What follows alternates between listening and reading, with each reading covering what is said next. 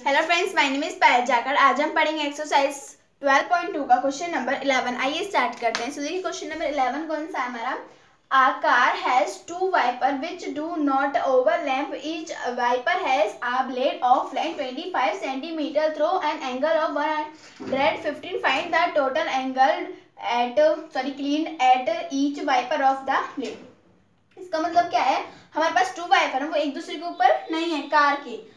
जैसे कि हमारे पास ये टू वाइपर है। एंगल हमारा वन वन फाइव ये कितने के हैं? ट्वेंटी फाइव के। सेम नेक्स्ट होगा। एंगल हमारा वन वन फाइव का होगा। ये ट्वेंटी फाइव का होगा।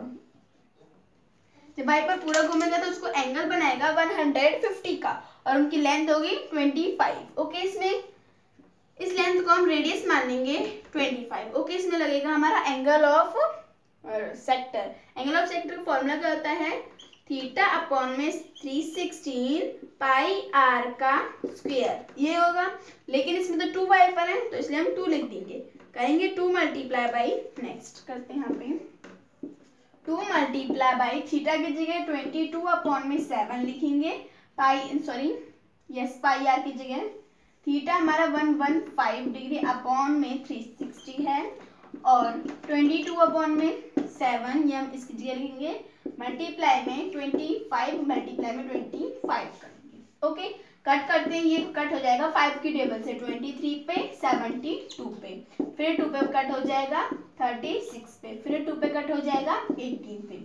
ओके यहाँ तक आया जो जो वैल्यू लिखी है हम उनको पुट कर देंगे। Twenty five twenty five multiply करेंगे सिक्स हंड्रेड ट्वेंटी फाइव होगा। अपॉन में एटीन मल्टीप्लाई बाई सेवन इसको इससे मल्टीप्लाई करेंगे वन हंड्रेड एट अपॉन में one hundred twenty five upon में वन हंड्रेड ट्वेंटी सिक्स ये जब आप इसको मल्टीप्लाई करोगे तो ये आंसर आएगा okay so this was question number eleven exercise twelve point two thanks